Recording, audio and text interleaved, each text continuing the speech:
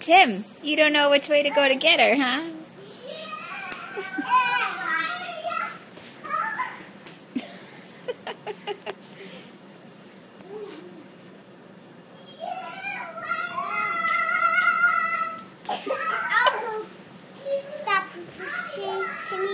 It's okay.